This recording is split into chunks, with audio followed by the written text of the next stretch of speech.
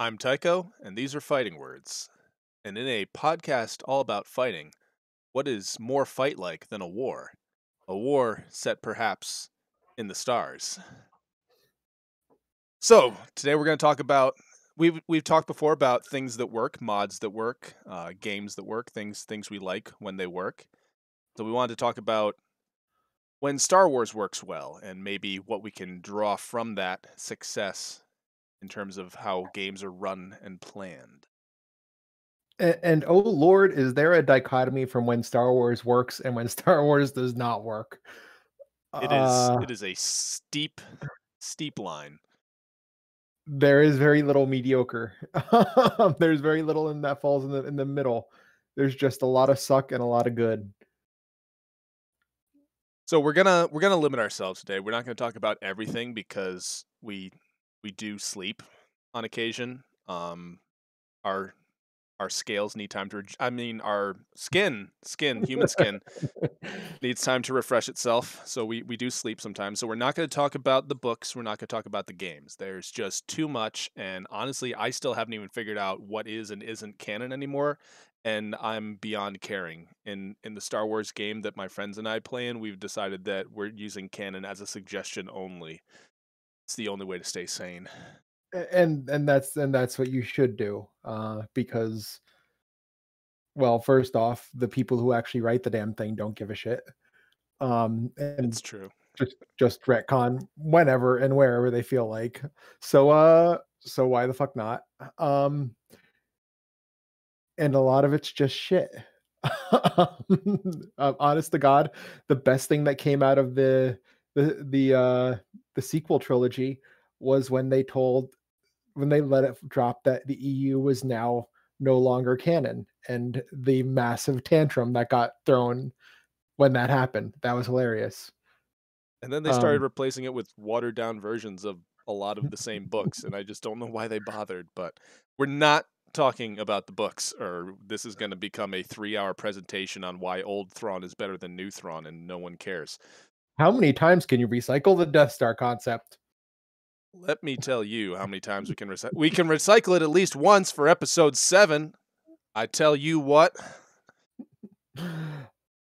Uh, all right, so let's start talking about before we start being uh, angry and, and slagging, slagging. Uh, well, I've I've never seen episode nine yet because I stopped giving a shit. Honestly, um, we're not even going to talk about episode nine because either you think it worked and you're wrong, or you know why it didn't work, and you really don't need us to tell you why it didn't work. Yeah, um, both sides of the fandom, pro and con, just just put me off Star Wars so much that I just stopped giving a shit. Um, we even have Disney Plus. I still haven't watched it. I just don't care.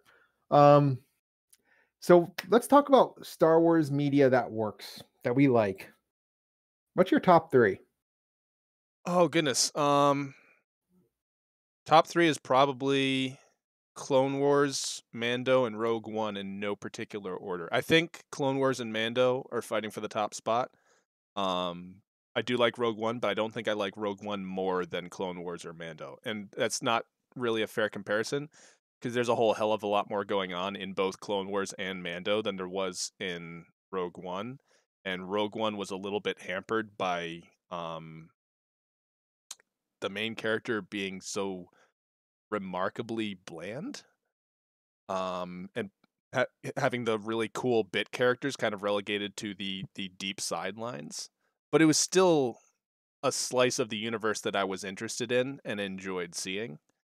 Um so that would be my top 3 what what would you peg as the top 3 if it's not the same thing? Um I would probably, I would probably, uh, and we might stop being friends after this. You're gonna say episode eight is, is no, no, no. Oh my god, no. Okay. Um, I mean, my loyalty for to Laura Dern um, goes far and runs deep because God knows Ellie Sattler was a uh, was an awakening for young Ray. um, but she's not dealing with Jurassic Park here, so uh, and uh, her character in Star Wars sucked frankly. Um, no, I'm gonna say I'm gonna say episode four instead of uh, Clone Wars. And it's a close run thing, uh, but it's a stylistic choice. I I can um, see that uh, on on stylistic merit. Um, yeah, I, I, I yeah, I think I think Clone Wars tells better stories, hmm um, and has more time to explore interesting shit, but episode 4 is paced almost perfectly. Like, you don't have a chance to breathe. They're throwing so much shit at you. Um, and uh, one thing that runs through all, all three of my favorites is I like Star Wars best when it's hard scrabble. Um, Yeah. I, I think I think it works best where yeah, there's high technology, but most of it's broken and we're basically we're scavenging a ship that crashed here 30 years ago. Uh, some people somewhere might make these things new, but we certainly can't. You know, we're still riding around on shaggy elephants. Like, and I think that that really works for me. That's uh that's one thing I like about that. This idea that there's technology, but the technology is almost as mystic as the force. It's Well, and even the technology that exists isn't a magical cure-all. You still have logistics and distribution and things like that that make it so that on a planet like Tatooine, which is, I think, not quite the outer rim, but it, it's no, no, Tatooine is is an outer rim planet. I, I'm pretty sure. But you're on an outer rim planet. You're very far from the core, which is where all the civilization happens, and you just don't get too many Amazon trucks coming by your side of the galaxy. It just they don't go there.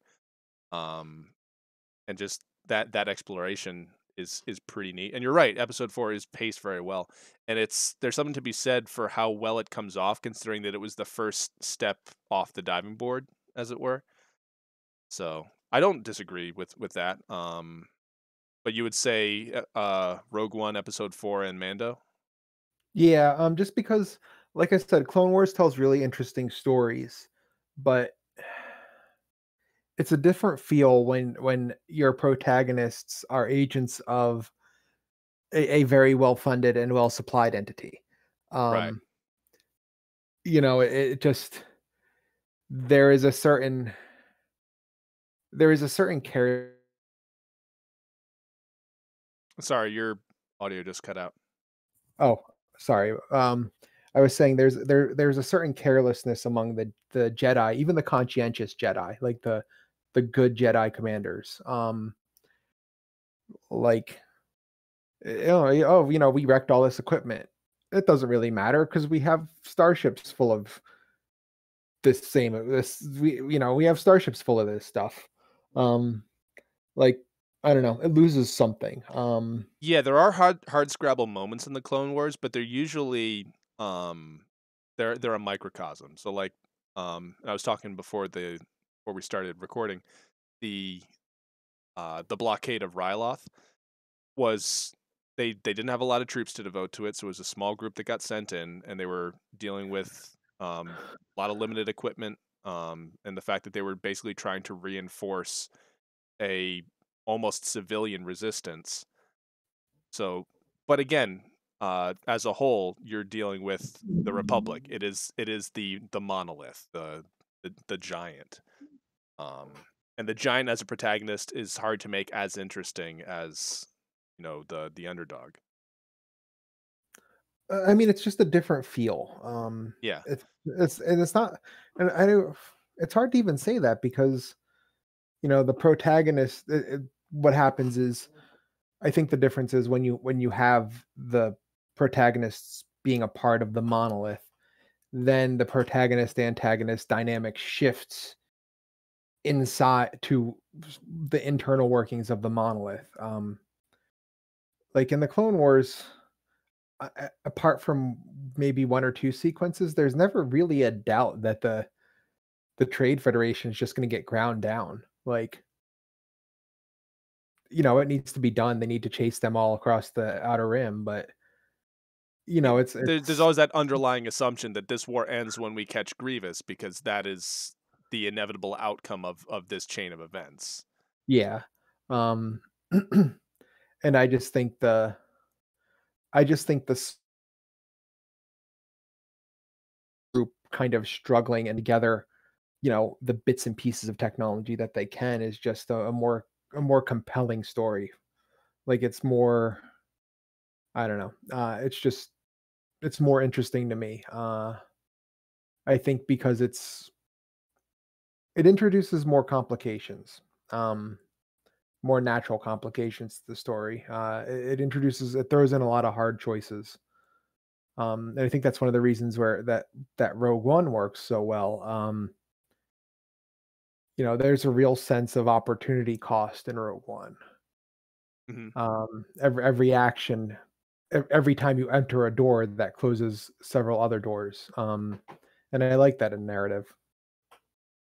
It's interesting that um, you ranked four above Clone Wars because of the the Rebels being a bit more hard scrabble, but I I don't list Rebels as being higher because even though it's you could compare it to Clone Wars but with a smaller group and less resources, but I still found Rebels less interesting because the the tone overall was just less less serious and less dire most of the time. So it, it almost kind of lost that that threat that was always present in Clone Wars of the the people you're watching have a very good chance to die. Like th- there's not much concern for the outcome in Rebels because it was it was a much more theme park experience if that makes sense. No, you're you're right. And uh, honest to God, Rebels hadn't even pinged because it's set dressing in Rebels. Yeah. Um, you know, no one's gonna die because they run out of oxygen. Clone Wars would pull that shit. Clone Clone Wars did pull that shit. They Yeah. they they spaced a bunch of, of troopers in like the second episode. um, you know, uh, Mando would pull that shit. Um,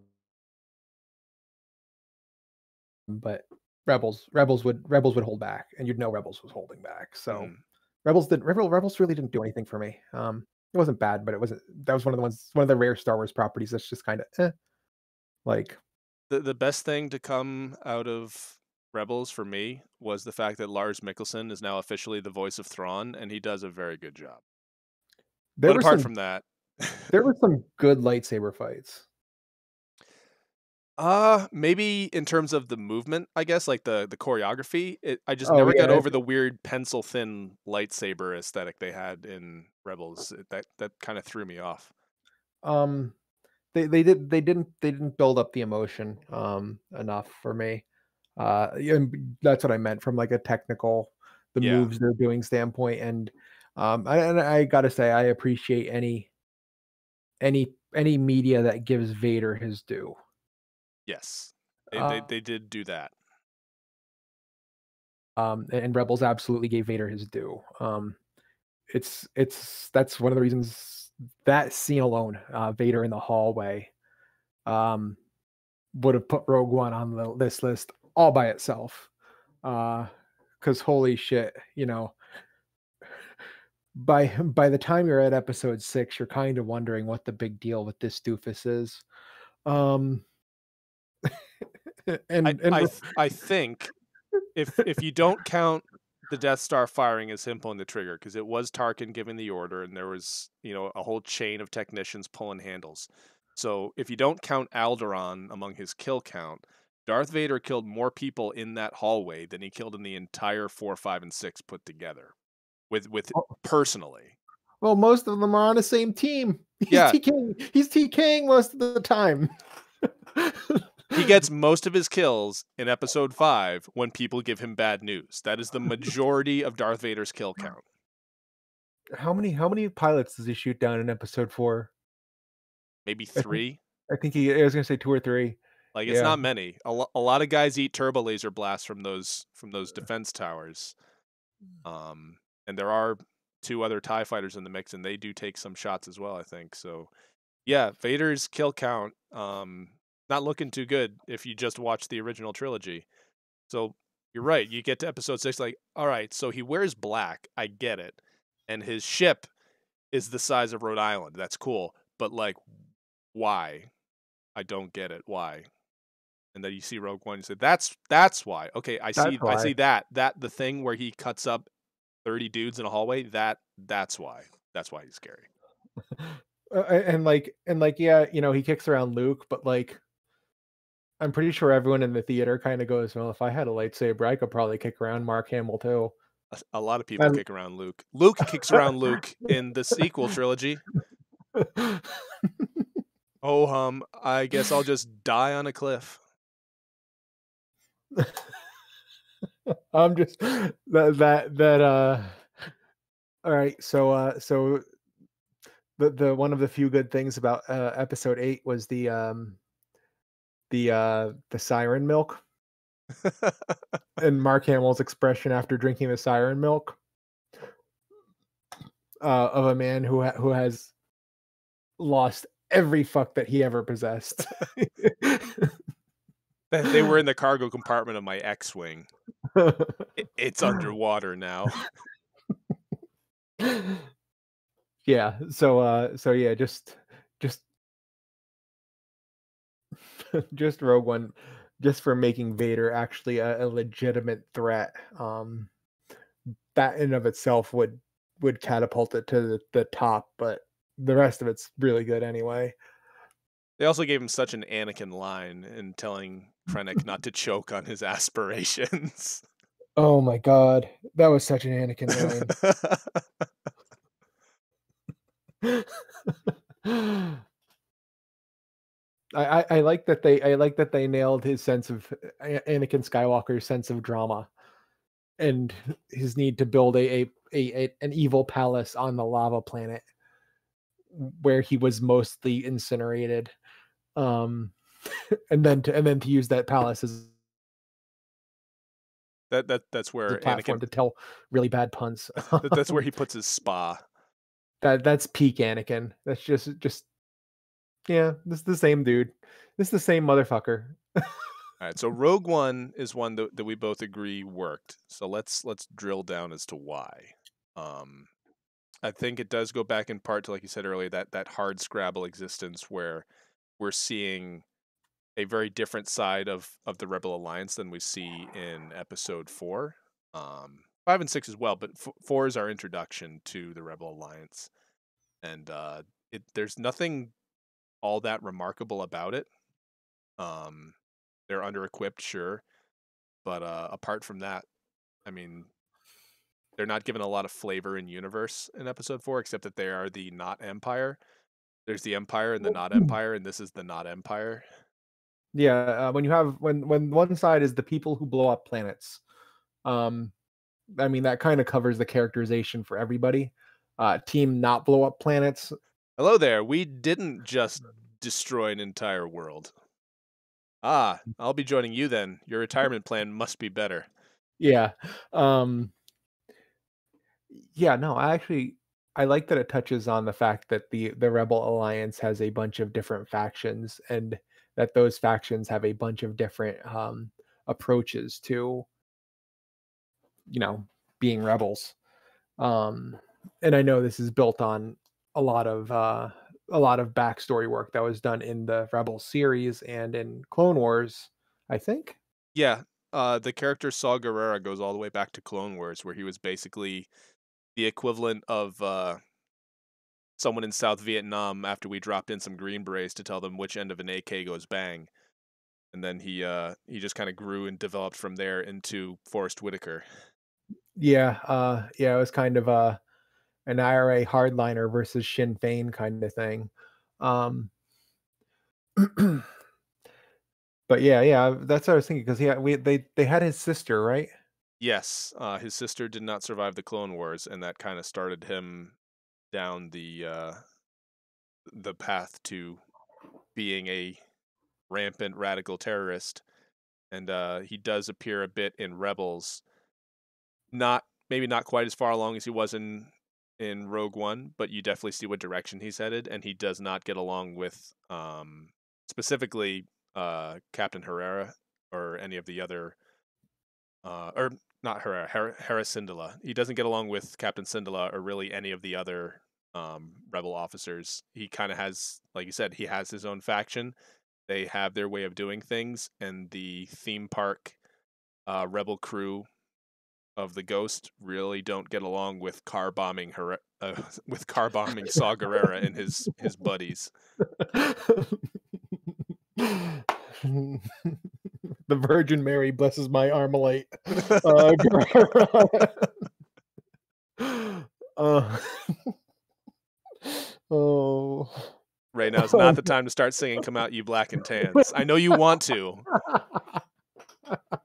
Uh yeah uh so so i i appreciate that um like it's nice to see the raw edge of the conflict uh like it's nice to see it outside of the outside of the x-wing cockpit and that's that's kind of one of the things i like it gets onto a more a granular a granular level um and you do still see some of it from an X-wing cockpit, but I mean, you're right. When we look at four, five, and six, most of the actual war we see is is ship to ship combat, or I or teddy or teddy bears or teddy bears, right? I mean, you get some shootouts in corridors. Um, that doesn't really qualify as like war movie material to me. the, the Um, rebels are so bad at fighting in corridors And well, yes, they're they're awful at it. It's it, it's the one place where stormtroopers' accuracy can come into play because, I mean, on a long enough time scale, you fire enough bolts, you're bound to clear the hallway. that's that's very true. Um yeah, just the, the Rebel Alliance gets its ass kicked in hallways all the time. Um But it's like the the big battle scene in episode four was was the trench run. mhm. Um, we have we get one planetary battle that that almost. I mean, you, you have the snow speeder attack uh, on the AT-ATs, but like the AT-AT assault itself isn't really an interactive combat. Like you you see the rebels firing back, but you see it not doing anything. So it, it's kind of like a token resistance while they wait for the transports to lift off, which is, I mean, that in and of itself is is neat. It's almost like Hoth is the rebels' Dunkirk, if that makes sense. Oh no, it a hundred percent, and and it's neat, and it's a good, it's a good setup, and I really one of the things I appreciate about Empire is you you don't really see that kind of setup all that frequently in film where the protagonist faction has to fight a a a delaying action in a in a retreat in a deliberate retreat Like there is no are- way we can win this. they are just getting there at like and it was i one of the things that sold me on it was as soon as the as soon as the imperials break um what is it it's not warp is it break Hy- hyperspace Hyperspace, yeah. Uh, as soon as the imperials break hyperspace rebel command is like oh we're leaving we're not even going to wait and see how many there are. Like, we're not going to do a force analysis. We know they have enough. yeah um but again all- the action is happening on the macro level the only thing that even gave the the walkers a, a little bit of a trouble was the snowspeeder attack um And still, when we see, uh, I think it's Captain Veers in the cockpit of the lead AT-AT, he is entirely unconcerned. yeah Like he, oh, he he's not he's not looking he's not telling his gunners you know target this no he doesn't care. He's just walking ahead. He sees the generator and as soon as he's within that what like a two and a half kilometer range he's gonna pull that trigger and it's game over. Yeah um and it's a cool sequence in its own right but it's it's it's again it's not it's most of it's vehicular um because it's either centered around the snow speeders or watching the watching the AT-ATs slog their way through you know the paltry rebel defenses just completely unconcerned um and then it's a massacre in the hallways. Like there isn't it just it doesn't have i don't know um and there's not even any any fight on the way out. The x-wings are just escorting the transport so they don't get lost. They they know there's no point in trying to stay and, and drop a torpedo or something. Just nope we're gonna hit the the destroyers with an ion cannon so they can't shoot you and you're just gonna run. Just Yeah. rabbit a- and it's and it's a great sequence for that but it's just it's different than a back and forth where the action of the battle is is part of the narrative Right. The closest Um, we get to that in the original is in episode six, where we have a simultaneous ground attack and space combat going on. And you do see a decent bit of both. Um, but I would still say that, that Rogue One is, is much better at doing the the the, com- the combined arms combat and, and giving you a better view of it. i hate the Andor sequence It's it's not a good it's not a good battle scene. the the speeders through the forest was fun. I liked the speeders through the forest. That was awesome. Uh but like honestly when you have the stormtroopers and they're fucking combat walkers do a job for a bunch of three foot tall teddy bears, that makes everyone look like shit. Like, how did these, you know, uh, how did a bunch of Stone Age koalas kick the shit out of a Stormtrooper Legion that had previously captured all of the good guys? And never in mind the- the fact that this this was the Stormtrooper Legion assigned to guard the shield facility that is protecting the Death Star, where the Emperor is sitting personally. That this this was, I think it may have actually been, canonically speaking, the 501st, which is like the elite Stormtrooper unit. These are people who know their job, they know what they're doing. Um, but they lost to the Teddy Bears. Yeah. Um, It it, it it it- strains your it, belief. cheap, it cheapens the whole, it cheapens everybody. Like, it just cheapens everybody. Um, I mean, at this point, like, if I was the New Republic, I would just be stuffing boarding torpedoes full of Ewoks and just shooting them at anything I didn't like. Because clearly you can't handle the Teddy. and and I and I bet you could fit a lot of them in. Oh just, yes, just just pack them in. um, that transport can't carry any more than five or six people. Yub yub commences.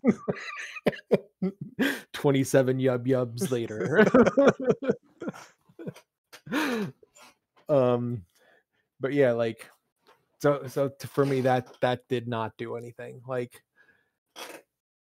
Yeah, that's just oh gosh, it's just cringe. Um, so Rogue One, I, I think, is the first time. I mean, so I just realized we're glossing over the prequels because we do get a lot of that big battle scene in the prequels, but even that's not all quality. Um, the Battle of Theed was is a little bit hampered by their over reliance on some very dated CGI for the the Gungans and the the Oh, oh, I was gonna, I was gonna ask, is that the Gungan fight? yeah, the Gungan fight is is not great. Um, It's too slapstick for me. yeah, That's the problem. That's the problem with all the with all the ground combat in in the prequels. They couldn't they couldn't help stop themselves from turning it into slapstick. in the and first like- one, yeah, the second one they tried, but they did poorly because all of the clone troopers they didn't move like people whose job was killing people. They moved like people whose job was animating other people who move. Um, like I think I remember hearing in a commentary somewhere that they actually brought on people whose job was to kill people for mocap in the third movie, and you can tell because the clone troopers move a lot more proficiently in the third movie. But in the second movie, they move like animation engineers. Uh, they they don't move like they know what guns are. You know what? I, I will say this about the prequels. Um, what's the what's this the the four legged thing with two guns that has a personal shield? Is that a droidka? Yes, the droideka. Yeah. Um anytime a droideka rolls out, I sat up in, in the prequels. They handled them spectacularly. Ma- making them an actual like existential threat to the Jedi. Yeah, and, and like well just because the normal trick, which bouncing their lasers back at them doesn't work. Hmm And plus it sounds like it sounds like they have each of those arm cannons belongs on a starfighter, to be honest. They do have some pretty heavy duty ordnance. Yeah. I, I I haven't bothered to look at the tech specs because it's Star Wars, so you know for all it matters, I could just throw out a bunch of techno babble right now. Um, but you know what? The sound effect is what tells you what it's supposed to do, and they use the fucking starfighter cannon um sound effect for those guns. Um, and the, the nice thing about it, and the thing that that works for it is all the good guys react. yeah. All the protagonists react to them. It's like, oh fuck. Like you don't have the Uh, bad guys telling you how awesome they are. You have the good guys telling you how scary they are by reacting accordingly. yeah um so that that worked um anytime they rolled those things out that that worked for me because that like you said like we said it it created a sense of threat uh you understood that everyone was scared of these things. And then on top of that, that was played out in the action because everyone was scared of Vader. Everyone acted scared of Vader. But in the originals, you didn't see Vader do a whole hell of a lot. He ate dinner. Yeah, the very first time you see the droidekas, you see Qui Gon and Obi Wan just run for their lives because there's nothing else they can do. Yeah. Like they're pinned down in an open corridor with two of these things advancing on them, just laying fire down. And they they talk about it. They come to a consensus and they bolt because They there is no other option. but uh and and you know they they make the good guys work um and that's a fun fight scene like that's a fun battle scene like i'm engaged with that And you know what? The you mentioned they they used a a heavier sounding effect for the droidekas. That is one thing that I've noticed they do pretty well throughout all of Star Wars. Um, I didn't pay as much attention to it in the originals because I I originally saw the originals a while ago before I was really obsessed with like voice acting and, and sound design and stuff like that. Um, but at least in the prequels and and since then as well, they they do their sound design very well. One thing I remember distinctly from episode two, I believe it is, when they first introduced the B two series droids. Um, you're used to the. B one having like the little blaster pistol that sounds kind of yippy, like it's a Chihuahua gun. are, are the b2s the the the more armored uh yeah, the the the super like battle droids. color Yeah, okay yeah yeah yeah Ar- the arm gun ones they have the, the wrist mounted weapon They right? have the arm gun, and that's the th- the first time you see one of them used, he's he's literally shoving aside one of the smaller B ones, just like smashes it to pieces to get it out of his way, brings the arm up, and the sound that comes out of it is like they they took a B one's blaster pistol, cranked the speed up three or four times, and then bass boosted it, and it's actually scary. that's true that's true um and the you know what that is that is a thing sound sound design in star wars has always been spectacular uh there's never a, time when the sound is oh no i take that back um the sarlacc pit when they had the sarlacc pit burp after it ate boba fett That was dumb. i I, I want to go back and uh, I want to go back to the early '80s and smack the shit out of everyone thought whoever thought that was funny. You would have to Um, smack the cocaine plate out of their hands first.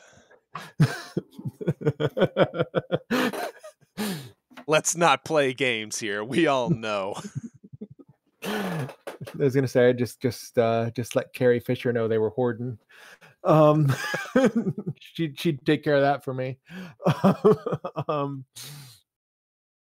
But apart from the Sarlacc burp and uh, their obsession with the Wilhelm scream, which humorously enough, they restrain themselves in this week's episode of The Mandalorian. I, I will not speak on it because someone's going to mail a box of feces to my house if I do.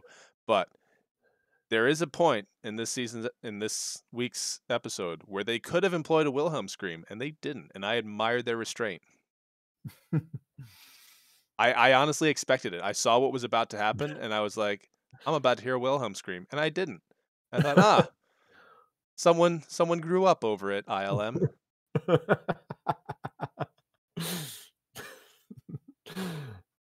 um but yeah, um you know, but like Like, just think about the Tie Fighters, like the engine sound effect. That's that's one of the most iconic sound effects in cinema. oh yeah. Oh yeah, no, um Star Wars basically defined how we think space battles sound, which is fucking hilarious. which is so so so funny. Um That's why watching uh why watching Firefly is so jarring. oh that that was that was done well though. That was that oh, was sure, it was done very well. But you're so used to like the the Star Wars, Star Trek version of what space battles sound like that when you see they show you an exterior of some kind of space combat, as limited as it was in the series, and it's just dead silent. Like maybe a little bit of a of plucky Western guitar in the background, but like no no sound. Yeah. Yeah. Um but yeah, it's you know, going back to the idea like um so your your what was your list again? Rogue One, Mando, and uh Clone Wars. Clone Wars. Um and mine is uh episode four. uh, Same thing except episode four instead of Clone Wars. Um, it, it just it just works to have a sense of threat, to have a sense of loss and or potential loss. Um, that's to me at least that's one of the differences between bad Star Wars and good Star Wars. Um, because Star Wars can very quickly feel like a superhero movie. Yeah. eh, like especially if you're dealing with Jedi, it's just like, ah, they'll be fine. You know, Clark will figure out a way to Clark will figure out a way through this. You know, it might look and it might look like it's trouble, but this is Batman. Who gives a shit? Uh, You My know, friends given- and I actually just watched The Death of Superman. There were several times through the movie like, ah, Superman's gonna save me, and then he doesn't. And uh, it's like, oh well, that guy died disappointed. um but yeah so you know and mando does this well um almost to the point that sometimes i'm, I'm starting to worry that they might uh they might Worf the mandalorian. Like not like I, I don't think it's there it's there but there's always that risk of you know him becoming a character who can never do any him never manage to do a single thing by himself. Yeah, there, there's something that uh, th- there's a guy that I'm familiar with who who reads and, and reviews comic books, and he says if your name is on the title, then you should be the person doing the coolest thing in your own book. If I pick up Iron Man number seven, and the coolest person in Iron Man number seven is not Iron Man, there's something wrong with Iron Man number seven. So if Mando can never be the one doing the cool stuff, if Mando is always tripping through the galaxy, getting saved by other people, you're right. That that kind of is the Worf effect, where they established Worf as the the martial badass. So every week they they had something dangerous, they had to have it beat up Worf so that you would know it was dangerous. Yeah, um I I don't uh, it's you know, it's gonna be a risk. Um and I kind of think it kind of always is a risk in that kind of you know, lone lone wolf and lone wolf and cub type of series. Um Well, and it's a balancing act too, because you also don't want to flip it the other way and turn him into Superman. yeah. No, and I mean it's, you know, it's yeah, it's it's kind of the balancing act, but I think overall they've done a good job of presenting things that are legitimate threats, but letting Mando keep his credibility. Well, the other thing too is that despite the fact that he's basically proof against small arms fire, he doesn't always act like he's proof against small arms fire. So like he, he doesn't take that for granted and he behaves like getting shot would be bad, even though normally it, it's nothing more than like, you know, throws his shoulder back a little bit. Um, but he doesn't do stupid stuff like walk out into the hallway in front of a bunch of stormtroopers and just casually pick them off one at a time, even though theoretically he could do that, it would just look dumb. Well, I, mean, I, I think it's, I think it's a, I think that's actually an important part of the building the idea that this character is perceives themselves to be in danger because Yes. yeah, his best, his Beskar armor is awesome, but you know we can see the places where there's no plate, Mm. like There, So, there's you a know- visor. If if by by chance he took a blaster bolt to the visor, he'd be having a really bad day. yeah, um, you know that I'm pretty sure that coverall is not best Beskar. Nope. Uh, you know, Tho- there's those are gap- pajamas.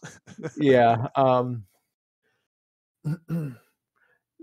so you know it it's good to see them acknowledge that and that this character who is trained to kill people would understand i cannot just rely on my Beskar uh, and it makes times when like uh, in episode three when he uh when he draws when he draws aggro to throw his thermal detonators um that makes it impressive Mhm. because you're like oh well it must be serious that he's doing this thing that he normally doesn't do uh, and it was it was you know the circumstances warranted it. Um but yeah th- overall i think they do a pretty good job of, of making things threatening but not making him a joke. Yeah. you know it's always important you know yeah they can the character can accept help but give them give them their own adventure every once in a while.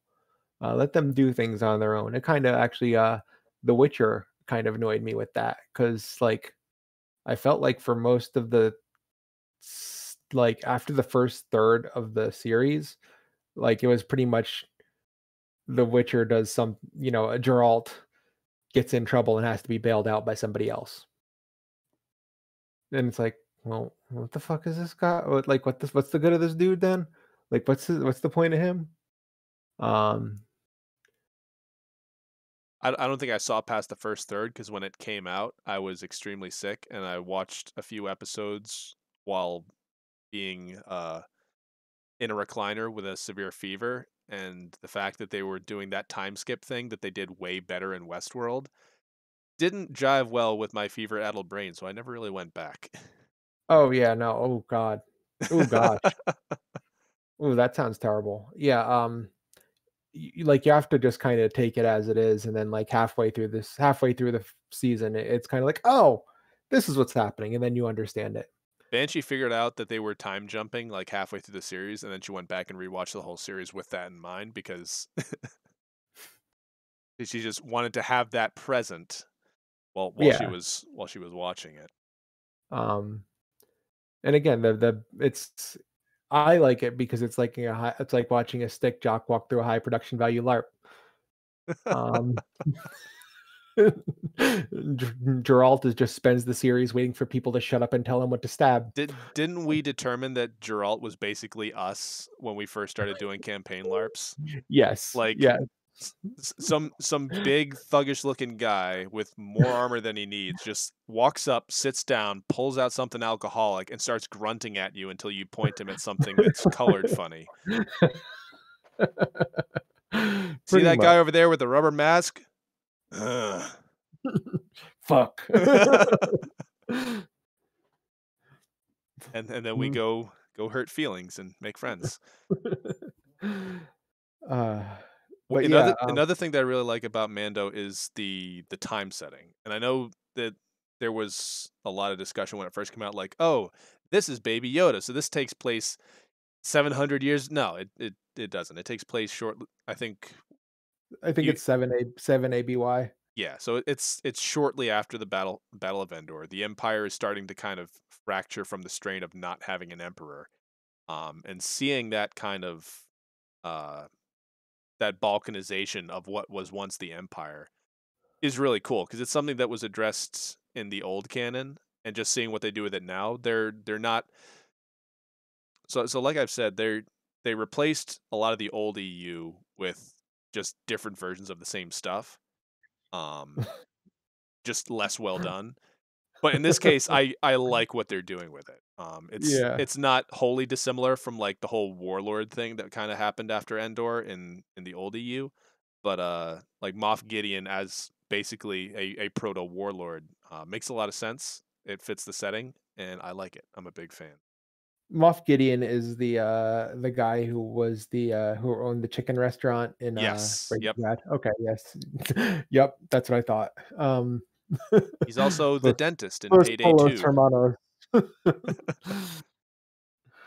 um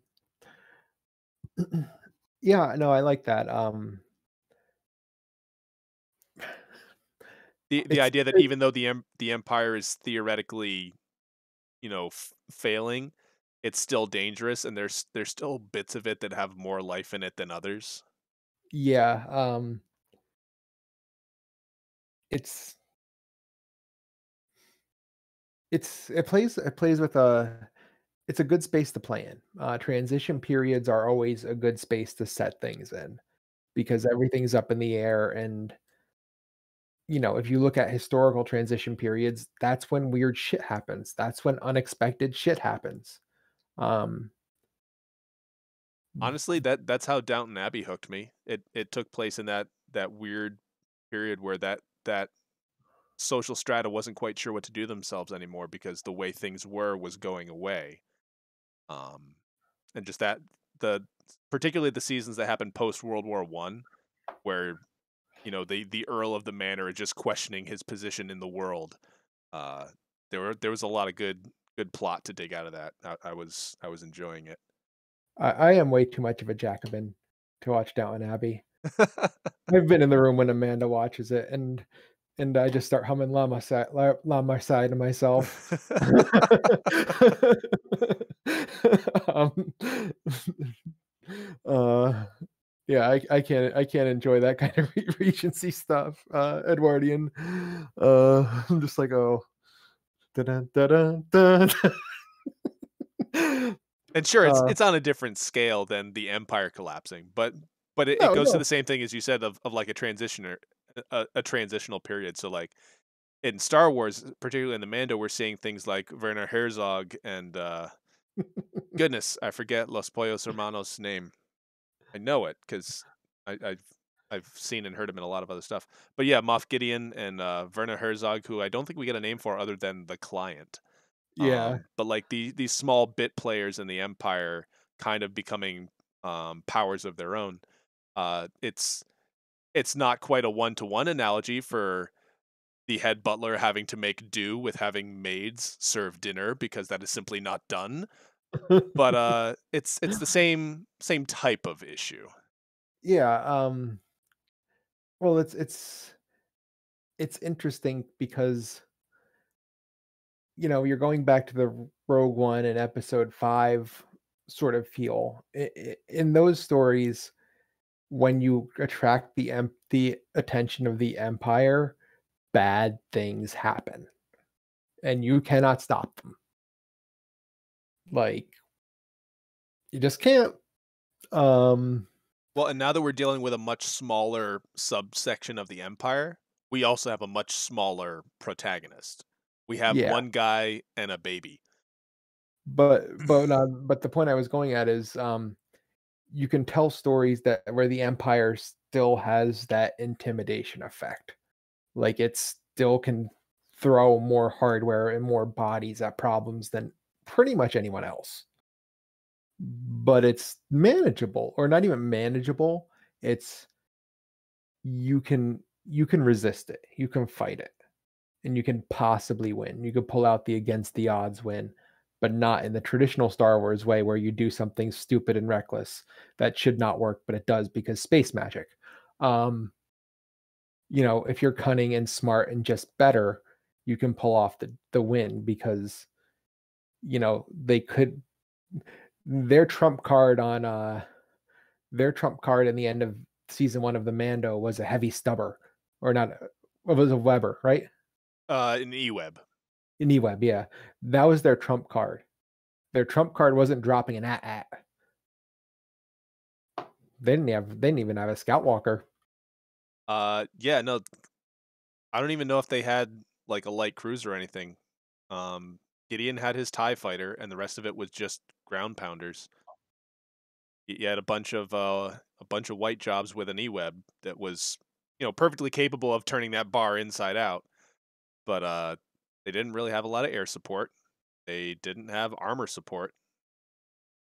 Still had a lot more firepower than one Mando, one ex Rebel drop trooper, and uh, whatever. An IG, an IG series. Well, eh, more importantly, a deprogrammed IG series that is no longer a proper IG series. It's now a nurse droid. that's true. Um, and whatever Carl Weathers is today.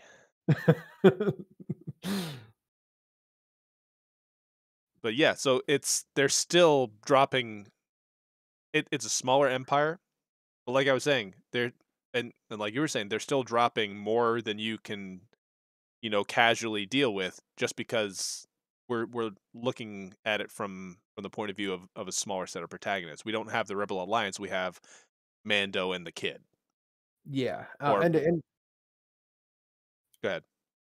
well, and it changes the it actually changes the scale of the threat because so uh, apart from the actual assault on Scarif, most of the interaction with the Empire in Rogue One was was mar- largely impersonal. Like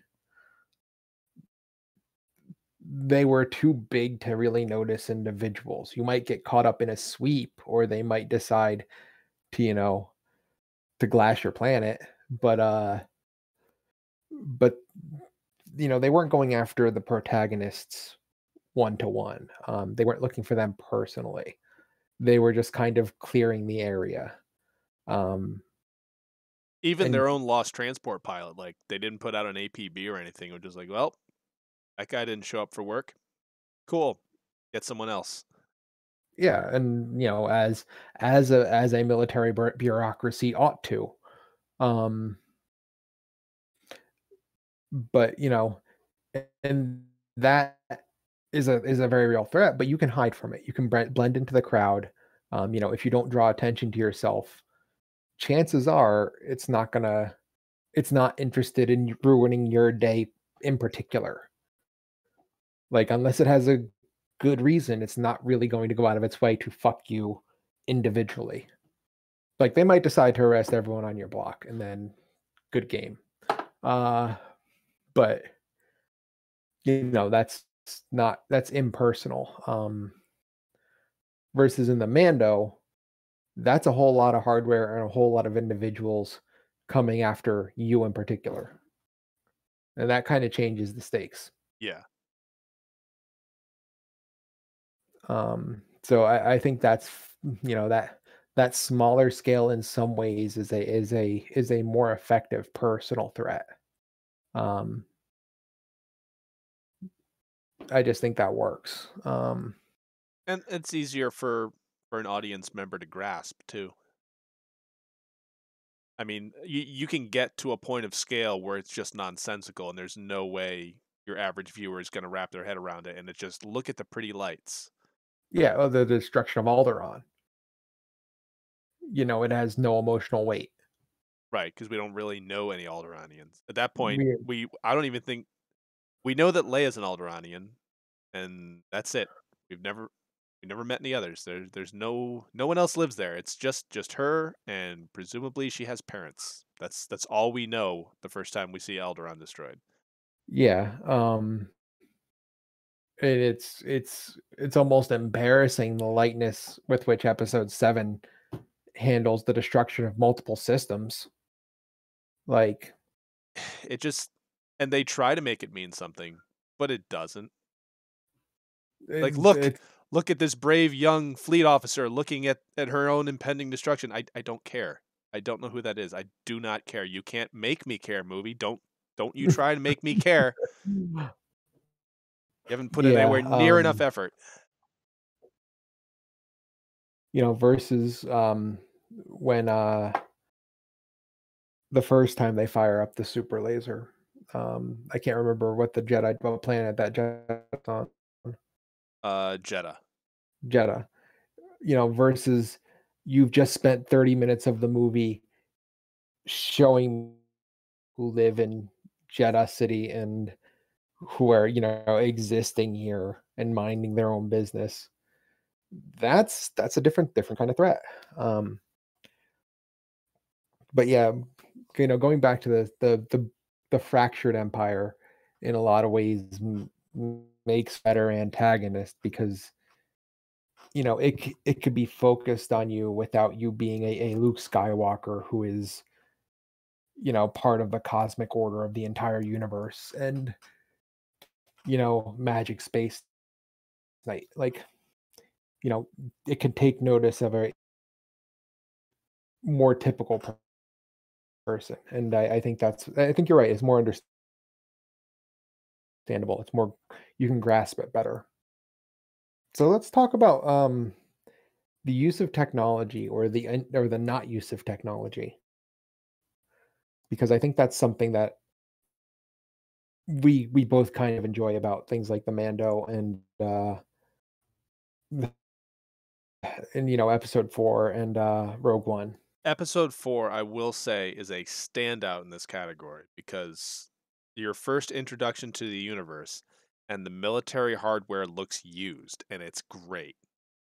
Um, like when you see the hangar, it the the ships that you see in the hangar on Yavin Four, uh, all look like they've been through the ringer. Like the these are these these starfighters were ridden hard and put away wet, and you can tell. Um, Yeah. They they did a very very good job of making it look lived in. And when when episode one first came out, I really kind of hated the Naboo N1 because it was bright yellow, and I don't like yellow to begin with. But and it just didn't look like military hardware. But like looking back on it, sure they they were fancy and all, but like they still had the the carbon scoring around the the torpedo tubes and all that. Like they still showed some signs of of use despite being basically parade vehicles. Um, and you saw the same thing on the the Trade Federation droid tanks. They had that carbon scoring around the the rocket pods at the the base of the lift pad. Um, a lot of the rest of it was really pristine and like I'm not going to say episode 1 did this well. Um, but it wasn't entirely abandoned like I like I thought when I first saw it when I was a kid. Uh, obviously episode I think episode 2 was very similar to 1 in that a lot of things looked a little too pristine for my liking. But uh, episode 3 they they had put a lot more character into the clones which I think was a big factor in it because the droids are always going to look kind of pristine-ish, I guess. I mean, they're churned out of a factory daily. Um, it's not like they're usually in service long enough to acquire personal idiosyncrasies or anything of that nature. But I mean, the the clones having individual unit colors and and uh, patterns and stuff that they used that that was that was cool. And the hardware in episode three was starting to look more like well, a like stuff we were used to, so you saw like precursors to things we were familiar with, but also it, it looked a bit more a bit more like hardware than the stuff you saw in episode 1. Yeah, um I mean, the episode Uh you cut out again. That you're having some kind of issue with your mic or every once in a while you say something and it just cuts you off. Uh, let me check my sensitivity real quick. But yes, Um, so, go ahead. um,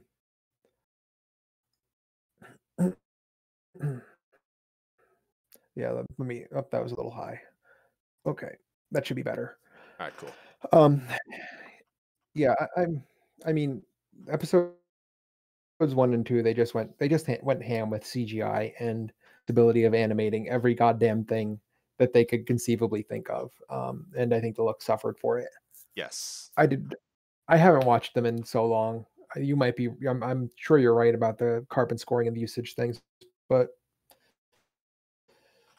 fundamentally, um, I just think it was going to be a. uh, probably was always going to be a product of its time. Um, I don't think CGI was developed enough for them to do what they needed to do with it, and they probably that was never ever going to happen. Um, you know, ILM has an ethos of pushing the envelope, so they were going to push the envelope. Um, but I'm like one of my favorite things about episode four is that every little piece of technology feels precious. Like, Yes. you know, you were talking about how the hangar looked so good, so much like an actual military facility. Um, and one that was used by a bunch of friggin' yeah, barely have enough, you know, bailing wire to get the X swing back, you know, to fix the S foils when they won't go in an attack position. um, you know, it just did such a good job. But even before that, like your first real intro to well, you know, the chase scene with the Star Destroyer, um, your first intro to how the rest of the universe lives is the fucking sandcrawler Yep. and the Jawas rolling yard sale where where half the droids break while Spectacularly. while, while Luke and Uncle Owen are are are, are window shopping, like the the the, the merchandise is exploding. um and that's just such good scene setting and characterization and you're like okay yes they have androids sort of sort of when they work.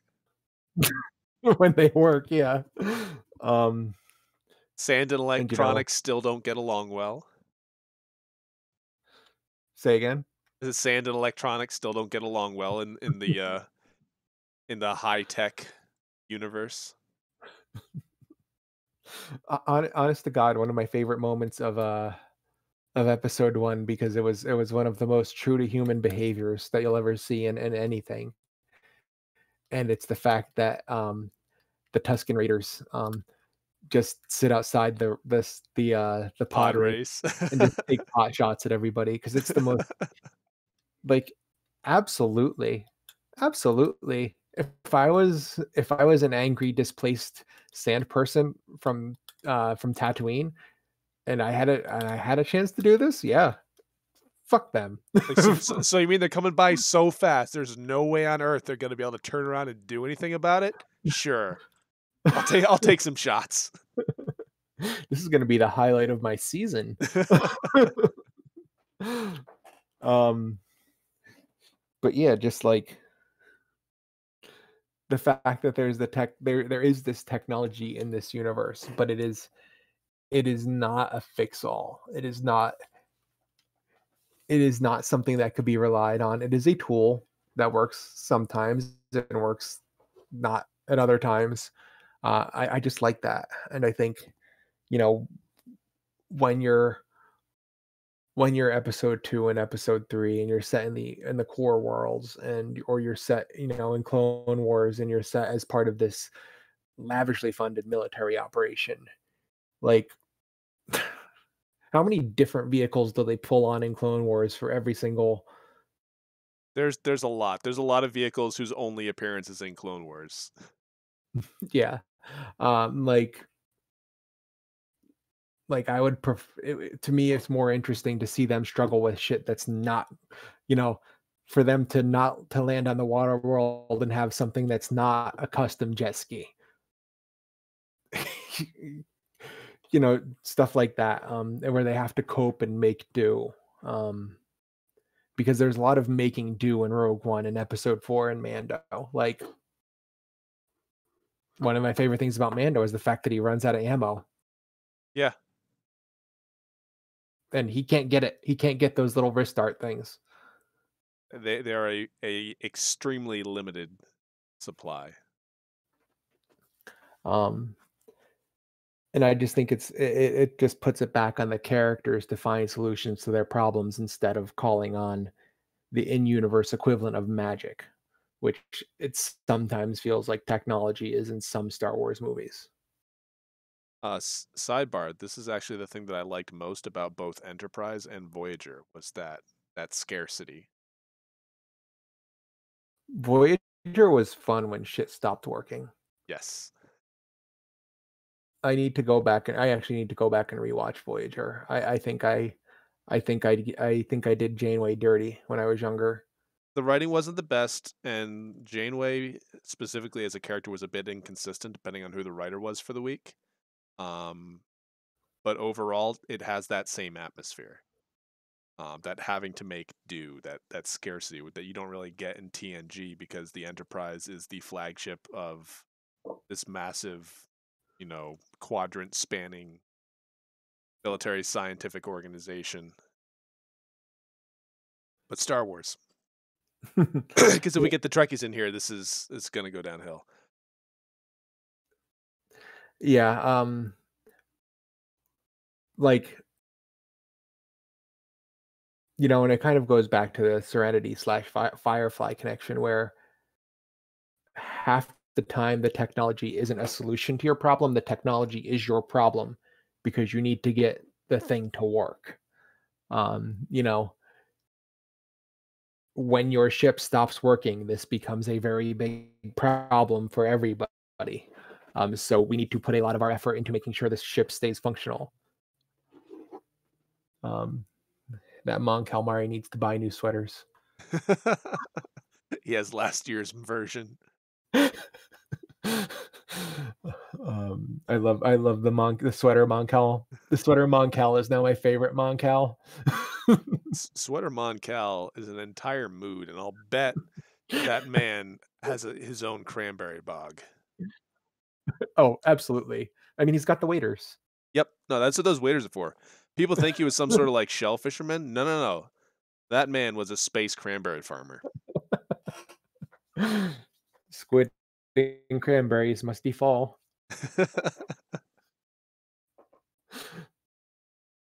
Um, but yeah, like that's always an interesting plot point to me. Like when the technology that you rely on is your enemy half the time because you need to keep it in, you know, you need to keep gathering the MacGuffins to keep it working.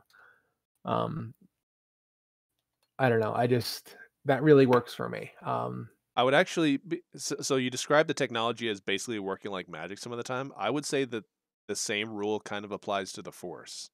And I think that's the issue that some people had with the Force in the sequel trilogy, where it just became bigger and flashier and more powerful. Um, and I mean, you you can debate the various merits of whether or not Rey actually trained at all. That that's irrelevant. It's it's the portrayal of the power.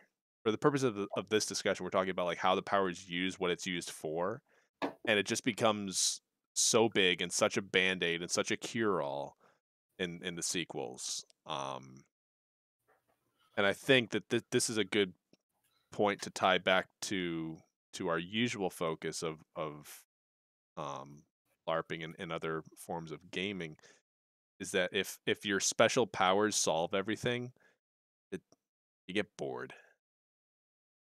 Yeah. Um yeah. It's yeah, no, you're right. It's it's boring. Um D&D wizards are boring. Not going to lie. Um you know, after a certain point you could do anything you need to do with magic and it just starts to curtail your creativity because, you know, it's like OG Star Trek where you could just say the right words and fix your problem. Um, but so how would how would you capture that kind of hard scrabble, um, shit constantly breaking aspect? Um, how would that translate to a LARP? So the way a lot of places do it that I hate, and I want to cover this, is limited uses per time period. And I don't think that's the answer. I'm not sure I have a solid concept of, of how I would best portray it, but I know that's not the way. Well, depending on the ability though. Um, because a lot of times that like sure, uh limiting things per per period or, or per session or limiting things to points is is a useful mechanic. But like when it's basic stuff, I, I hate it. Um, so I guess it depends on the ability. If it's like a a get out of jail free card level thing, yeah, limiting it to like once or twice an event. But I, I don't even know if if I like the idea of something that all encompassing existing. I don't know. There, there's a lot of context that goes into how I would how I would need to answer the question. I think. All right. Um, So what what context? Maybe we can maybe we can do a for instance.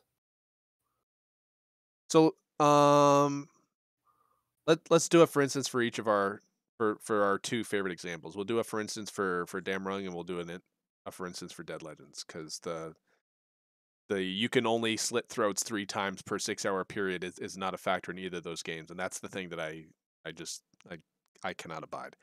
Um, so for Dead Legends, trying to give it uh, that that hard Scrabble atmosphere, I think it already does reasonably well.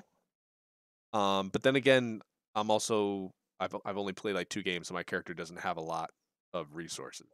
I don't know what it's like at, at different tiers of play if it becomes less hard Scrabble over time. Um, well, well, the the immediate thing I would do to make it more hard Scrabble, um, I would I would limit the amount of the amount of shots that a player can carry. okay, no that that would that would be a good first step. Um, because I get uh, I think a big part of making any game feel hard Scrabble is is going to be to introduce elements of resource management Yeah. where um you, you know you become under pressure uh because you're expending resources and uh I think limiting the physical shots that a player can fire in a game like Dead Legends. Um, well, I, in in fact, I know it's a it's a huge issue because um, in the Halloween in the Halloween scenario from last year, uh, they did that uh, because you're not allowed to glean ammunition while you're while the mod's still while you're still in combat. Um, so they just made us use up all our ammo. And they just kept throwing zombie respawns at us Well, until we were just out of ammo. I, I think what you told me at the time was that people aren't used to having to manage their ammo, so they were spending bullets like water, and all of a sudden there were there was a, a lot more sponge than they were prepared to deal with. Um, it was partly that, and uh, just the resource management on the PC side was awful. Um, Uh, that's what I mean. The PCs weren't used to having to manage their resources. yeah, but not even just bullets. Um, the healing resources were utterly mismanaged and completely wasted, uh, just squandered. The healing Uh, resources, um, I, I think are in a pretty good place as far as hard Scrabble goes. Um, that is to say, I've never had the luxury of walking around with three or four potions of healing in my pocket, like maybe you would at, at other games. Uh, when I get hurt, I tend to have to go to the hospital, which might sound boring, but that can spawn some little conflicts and adventures of its own, and it can become a logistical thing. Like if I'm fighting off in the woods somewhere, I'm like, oh man, I should probably go to the hospital for this bullet wound or something. Now I got to get there, and that, you know, there's that little journey, and complications can arise there. So that that's all all well and good. Um, Um, yeah, I mean it it it does okay with it. Um, and it depends on like basically if you if you're running the if they're running the game in hard mode, it becomes very hard Scrabble. Um, and you expend resources really fast. Um, and I guess it, for me it would be a big question of would that be maintainable long term? And I don't think and as the game is currently written and with the resources the players currently have, no, because you basically have to run things in turbo mode, and that is not long term sustainable. But if you were to cut the player access to resources, yes, you could you could get that sense of feeling. So I mean that's part of it, limiting resources. Um and just, you know, doing things like adding a mechanical cost, a rules cost to represent things that will be very difficult to do in the real world. Uh, you know, if you're carrying actual bullets, bullets are heavy, brass is heavy, lead is heavy. You know, um, maybe you're carrying 50 to 100 bullets if you're carrying a lot of ammo. I don't know. I actually don't know what an appropriate loadout would be for someone with a six shooter. I'm I'm not as familiar with uh that era as far as like what would be a reasonable number to carry, like how many go in a cartridge belt or or whatnot. But yeah, like if you're using something that fires rival balls, you could theoretically have a couple hundred rival balls in like a messenger bag, and it would weigh what three pounds? I ha- I, car- I carry 200 mega darts. Yeah, I carry them in a message bag. They don't weigh anything. so you could carry like 600 rival balls Yeah. Oh yeah. and and not even not even worry about it. And when you have 600 rival balls, if you're in a shootout with bandits, you're just gonna stay right where you are and keep shooting it out because bandits carry like 12 shots. Speaking from personal experience, we are we are operating on a very limited loadout. Uh, we should just we should just be dicks and just buy uh like ten dollars satchels for the bandits. It just give all Just give all the bandits an ammo belt. Donate them, get some service points. Um, but yeah, and two, if if there were a limit on that, say you can only have say like 48 rounds if you if you carry a six shooter. Yeah. Well, well, now you're not just gonna hammer them off as fast as you can, and if you uh, if you start to run low, you're gonna have to think about, you know, may, maybe you should have brought a slightly longer knife, my my guy. and just just um and the idea that when they're gone they're gone Yeah. um like i don't know how you would do i mean unless you just make it a crafting thing and people have to make bullets uh, and gather the resources to make bullets um which might be a thing i don't know um but just the idea that you can't just finish up a fight and then go pick up the rival balls and I then be I back think- up to full. I think crafting is a thing for special rounds, not necessarily for common rounds. Oh i- yes, as the rules stand now, it's for special rounds. Yeah, but But but, making saying- it something for common rounds as well, you're saying would would be another way to to to help introduce that. Like, hey, you can't just carry 600 rival balls. Well, because the thing is, if even if you you limit them to, you know, let's say you limit them to six reloads, you can carry whatever your max capacity of the gun is times six. Which is reasonable. Yeah. Um, if you can pick up ammo, that isn't a long term issue. Right. It's only an issue in in the span of one module. Yeah. Um, you know, so even if you, you know, in, in Dead Legends, you always have ammo attrition because you just can't find everything. So, you know, even if you're losing 5% of your shots, you know, you could still string that 48 shots along for a very, for a very long time without feeling, uh, without feeling any pressure versus if that's the number of shots you have until the next refresh. So from,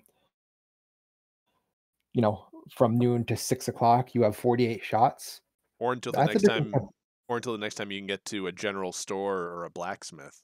Yeah. Um that's a different kettle of fish. Yeah like if these 48 rounds are the only 48 rounds i have until the next time i see a guy who's got a reloading press ooh i'm gonna be a lot more careful about where i send those 48 rounds mm-hmm. um the healing is probably right about where it needs to be yeah, nothing about the uh, healing has stood out to me as egregious. Uh, actually, no. I think the healing is I, I like their system of healing the best out of any I've experienced. Um, and that's that's by a large part due to the the healers. The docs and dead legends are to a person really good at their RP. Yeah, they they play the uh the medicing very well. Yeah, um, and they they it's really neat to see everyone with their unique style. Um, and they all treat it as serious. None of them, none of them, none of them half-ass it. Like it's so they always treat it as if it's as if it's a serious thing, uh, and that is something that is a really cool thing to see. Because uh, there is no mechanical reason for them to do that. They could absolutely half-ass it, but the they choose not to. The first time I went to the hospital, I was healed by a German doctor um, and it was it was my first game and i had like zero dollars because my background does not include money uh strangely enough despite being a, a prussian nobleman I, I didn't cross the ocean with a bucket of cash. So uh yeah i didn't have much money and the the person running the hospital was super angry at the german doctor who fixed me up because him and i conversed in german and he said oh don't worry about it. So i did i just on my own initiative, I pulled a couple of shifts guarding the hospital because I, I felt like that was a nice thing to do. But the the person running the hospital was super mad at him that he didn't like charge me exorbitantly to help them buy more supplies. well, I mean that's the other that's the other interesting thing. Um, healing costs money in that game. Yeah, like they they burn through supplies, um, which is a nice mechanic. Um, I actually appreciate that their gear degradation is pretty low. Like now that I've got the upgraded rifle, I will have it for I think an in-game year before I need to fix it. Like I have it for 12 games before something needs to happen. I need to put more resources into that. I think that's that's reasonable. Now, is it 12 games or 12 games that you're there for? 12 games. Yeah. That's what I thought. There was 12 games that I was there for. It'd be last for fucking ever. Right. That'd be no that'd be no meaningful impediment. Um no, it's it's it's calendar and I'm sure there's going to be a thing because fucking COVID. Um Yeah, all my stuff broke a long time ago. Even the nice sword is busted. did we oh yeah, we did get you a nice sword. We did make me a nice sword, yep. I think we had enough material to make me one nice weapon and we made it the sword. Yep. Although I think my dagger was already nice because I, I could have like one fine short weapon or something as part of my starting package. But yeah, so I so I mean with with a with a few tweaks, I think Dead Legends will be in a good in a good spot to experiment with that sense of like must conserve. Um now, not that we're saying that this is the ideal place for a LARP to be in, or that this is like inherently the best way to play it, but we like it. Yeah, this this would be really cool for us to see. So so honestly, I could almost see a a a a Star Wars version of Dead. Like you could just reskin Dead Legends as Star Wars. And um, and Stop! I think might we run enough games already. Oh please, God no! I, this is not. I don't. I do not want to. Um, But someone can you talk for- could. Can you talk for a second? I'll be back. We're we're not saying that we would do that because we won't and we can't and we don't want to, but someone certainly could. Um, now, as for Damarung, uh, there's not really a lot of- resources in Damarung, so I mean, it kind of already has. It's hard to quantify that level of scarcity. Damarung is hard scrabble by nature. It's it's part of the background of of the game world itself. Where we're in a a hard scrabble time. It's a hard scrabble setting. Um, but it's not like I am back. Okay, cool. I was just describing that Damarung has the hard scrabble kind of baked into the to the lore, but um, from our side of things, at least as the Jotnar, we don't really see a lot of like material hard scrabble because we're not super concerned about it. We have we have our blue rocks, and that's really the only resource that we have any concern for. Yeah. Um Yeah, that's true. Um just just um to circle back so to circle back to what I was saying about uh, reskinning Dead Legends as Star Wars just to kind of capture that hard Scrabble feeling. Um just because I want to explore that a little bit like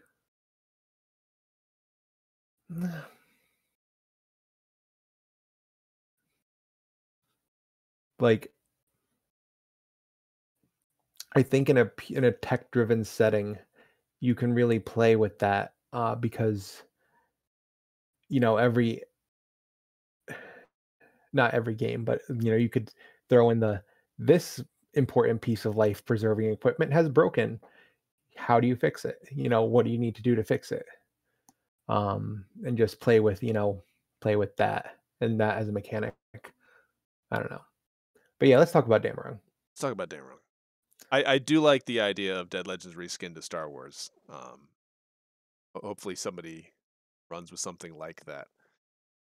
Because, uh, cool. But Damarung, um, it's a hard Scrabble setting, but we don't really encounter it too much as Jotnar because there aren't really any resources we care about. Well, I think it's a it's it's unfortunately it stays as an RP thing Yeah. because it's a game that again it doesn't enforce consequences. So you could RP that your character is starving. Or you could But- RP that you're reduced to monosyllabic grunts because you went through the Yot gate too many times. but you know there is no mechanical pressure from the game itself um now i thought um because they have their war game system so damarang has a has an attached war map with uh, different colored territories that um the human factions can squabble over uh, and the human you know there are quests and things the human factions can do during a game that can influence the war game. Um, I always thought it would be an interesting mechanic that um, you needed a certain number of resources to maintain what you have in the war game, and then you just don't put enough resources into the world for everyone to do it. Yeah. That, that would start some conflict. Yep. Um, yeah, uh, and it's just natural organic conflict. Um, you know, Each t- each the of three teams needs 10 food. There is 25 food in the world. Yeah, I was gonna say Go. it, it, it's starting to rain and there's three monkeys waiting to get on the boat. Only room for two, buddies. um, but yeah, I think you would need something like that. Um, and it's it, the problem is it's hard to do without snowballing. It's hard to do without snowballing. And the other thing is that, from the perspective of someone who has never seen this mythical map, that whole system is kind of opaque to, as far as I can tell, most people. Yeah, that, well, that's the other thing. The only only the people who care, the only the people who care about the map care about the map. The and map no, does not no one else has even seen it. Yeah, well, we we don't see it because we're not allowed to go in the human castles. And it's in the human castle. Well, weren't I thought in the last game we were supposed to send like a tactical envoy who was supposed to deliver your directives as far as troop movements or something like that. Did that ever even really happen? No one wanted to get out of their makeup.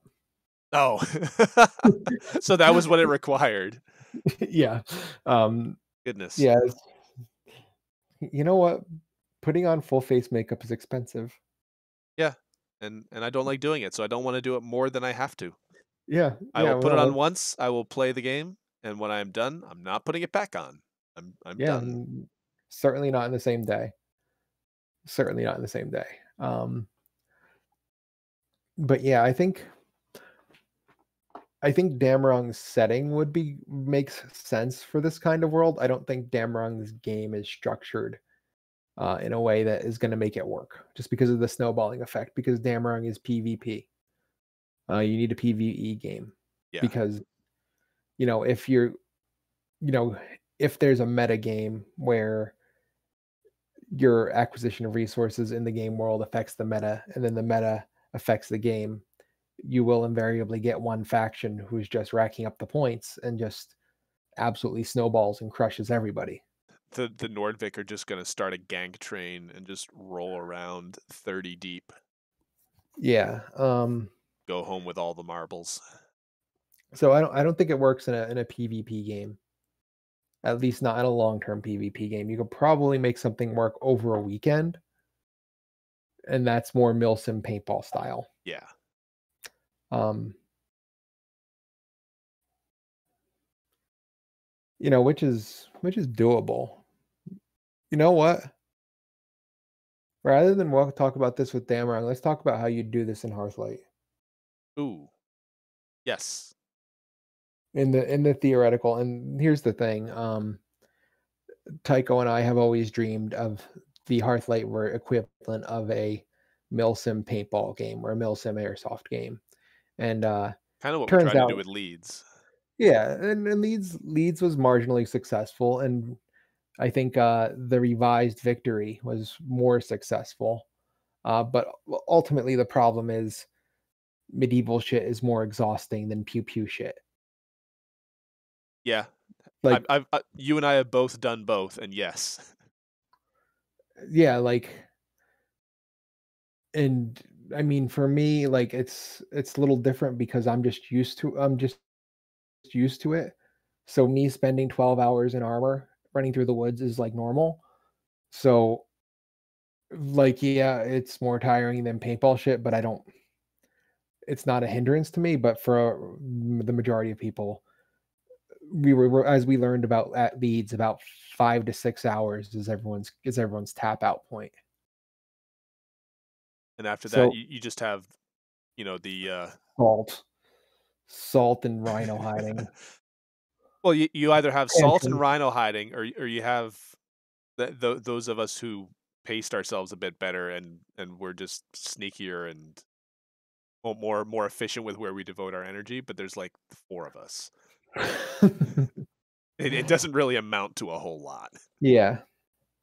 But um but in a fantasy world, in a fantasy world where where you know player exhaustion was less of a thing. Um how would that look in a battle game?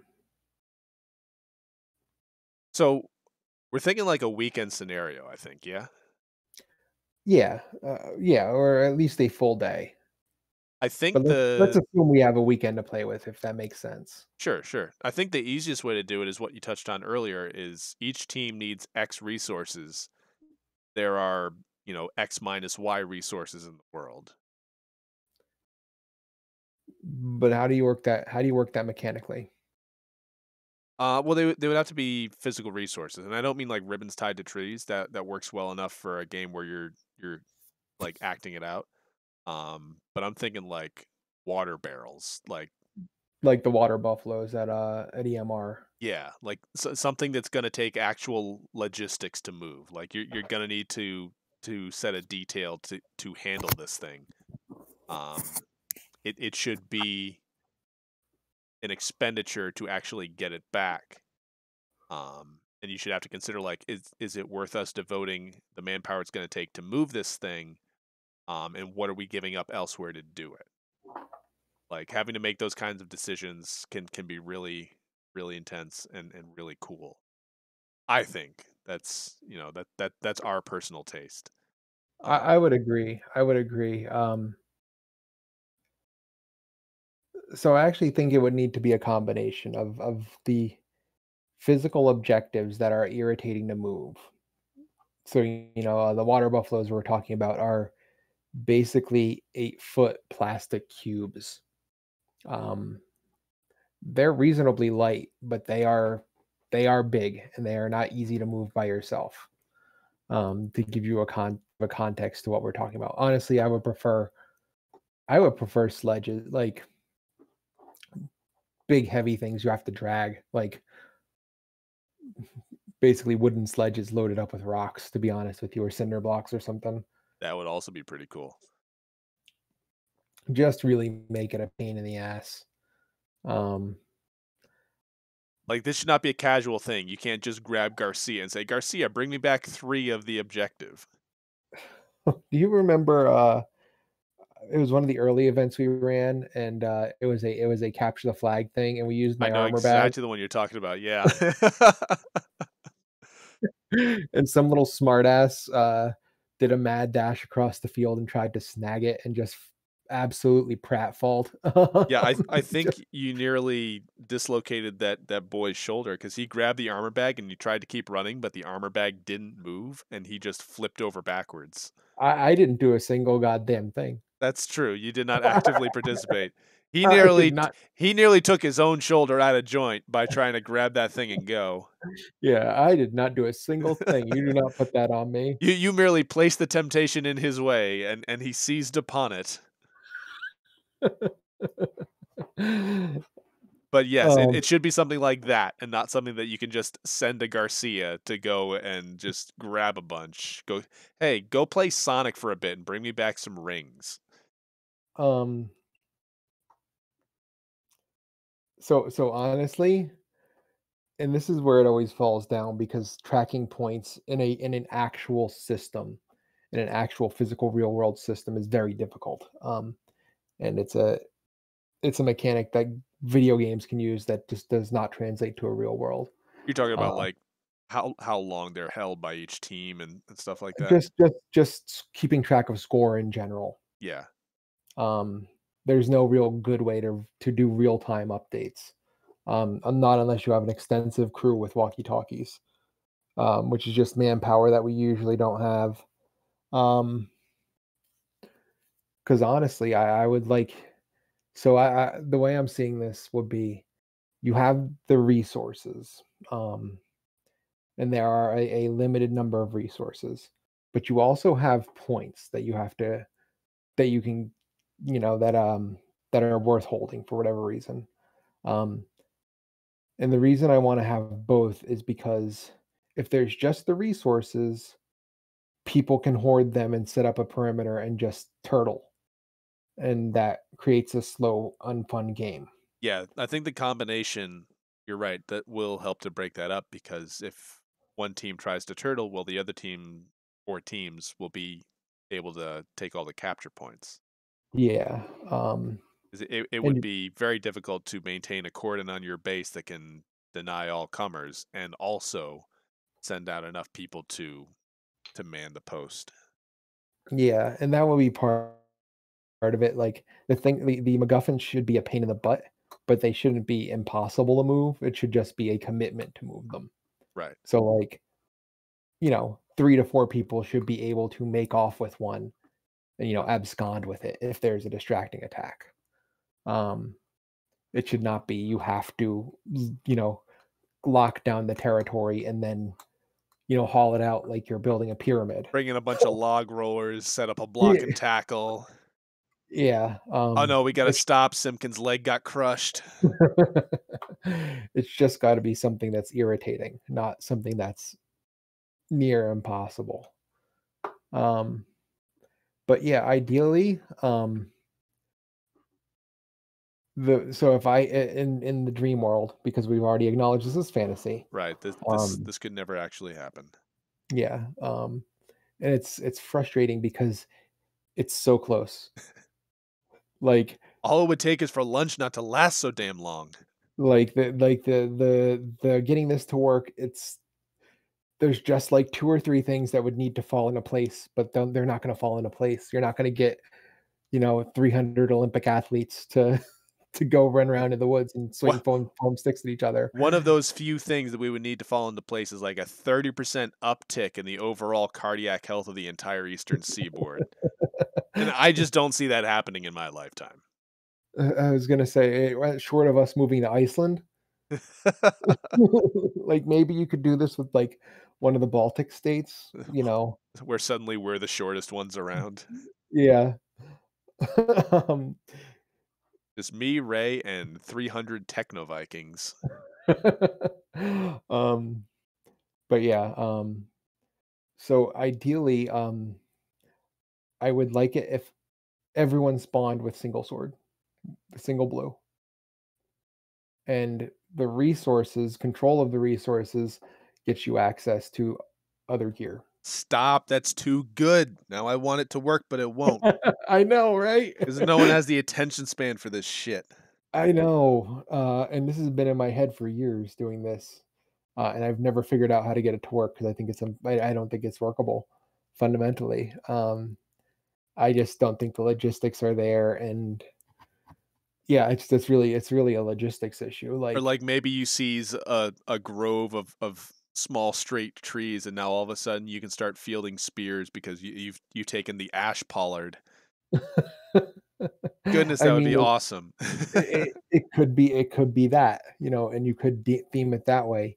You know, you could just have a you could just have a menu um but like all the ways to you know where the faction decides what it's going to spend its money on or resources on um but i think that would be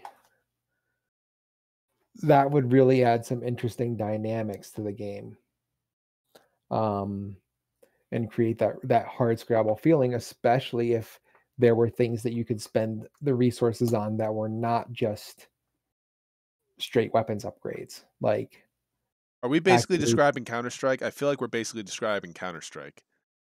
um more like uh Single sword remember round is the- the pistol round. remember um remember when league did the uh did the pirate themed special event Yeah. that's what we're describing Okay. uh where you know you're spending the points to upgrade the mobs that spawn or change the terms of their spawning um it's just you're using actual people instead of mobs i mean it's a similar mechanic though They're also somewhat mob like on occasion. but uh but yeah i think that would be i think that would that would be really if you could somehow figure out how to work how to make it work i don't know how you figure out how to make it work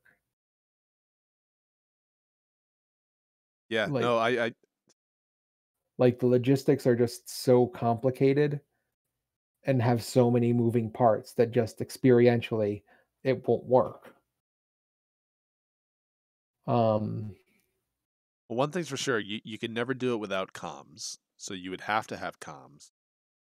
Um you would have to have a player base that wants to play for I would say at least eight hours.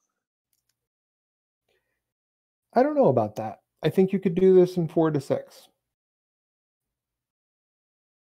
i think you actually don't need the eight hours i think we're stuck up we're stuck on that because because we want the long drawn out can- yeah okay no, I- Yeah. I, can see it working in, in a four to six bit and actually if if um because i remember we we had talked about doing something like this or i forget if it was victory or siege but like having small stuff happening friday night that would give you things to use the next day. We talked about that for victory. Yeah. Yeah because i remember uh, uh we were going to have me run like a stealth mission that people could try to do that would give their team benefits on on the next day we never actually did it Yeah. Um, but yeah, the idea that like you could come in Friday night, we're we're doing like the side quest stuff, and then Saturday is is the the campaign where you use what you've earned and try to get more stuff so you can actually field a decent army, not a bunch of clubs. Yeah, I I just would this work better with shooty sports? It probably would. I haven't done shooty sports in a while. Um, Because I'm just like imagining like the nice thing about shooty sports is like it's easier to limit people. Like you know, um you know, your side has to unlock this this ammo dump for you to use the X capacity magazines. I don't fucking know. Um like I just feel like I feel like because you know they're dependent on ammunition, um it's easier to it's easier to play games with how well weapons work. sure, but a lot of that's in the in the underlying rules for an event to begin with. Like if we're talking about a milsim game, my understanding is that in a milsim game, you're already limited to using magazines that only carry as many rounds as the real gun would have. Yeah, but So we if- don't need to we wouldn't need to do milsim. We're just playing a fucking game. So you could be like everyone has to start off with like milsim mags, but if you unlock this, you can use high caps or something like that. Yeah, shit like that. That'd be pretty goofy. I I could see that being entertaining. Um, you know, uh, I don't I don't know. Um I don't know. It's it's it just sucks that it's so hard to play with this kind of with this kind of hard scrabble concept in the real world. Without actually making your players sleep under a tree like I did at my first event. Yeah. um That was a, a hard scrabble event because I did not have a tent, so I slept in my cloak under a tree at that uh at was back this Baden? It was either Gates or Baden. It was one of those two because it was 'Cause we, that start, we started the same year, right? We might have. Um, you start a year ahead of me? I think I may have started a year ahead. Uh, I think this is 2008 I'm talking about. No, if it was 2008, I was start. I started. I think I started playing in 2007 or 2008. Yeah, this was the year that I think Mog showed up in a limo that Oh, yep, yep. Yep. And this was, yep, that was my first Baden too. Okay, so we did start the same year. I think I, I think that's the event I introduced you to couscous. Uh, do you know what? Yes. Yes, it was because I did not have any food either. And I think Frothgar gave me some Triscuits and you gave me some couscous and a bit of steak. And that was like everything that I ate on Saturday. And then I slept under a tree again. That was a weekend that I would not try to replicate in my current state of health because I am not, what, 12 years ago? Yeah, I'm not that young anymore. oh God, you must have. Were you like 18? I was 21. Oh shit. Tho- wow. Those were the days. I mean, shit. I was um, 26, something like that. Fuck. it was way Um, colder at night than I thought it was going to be, let me tell you what. Oh, But without making people do that kind of dumb shit. Um yeah, no, it's it's tricky because there's just so much behind the scenes stuff that you have to do to replicate, you know, all the programming that went into making Valorant. yeah.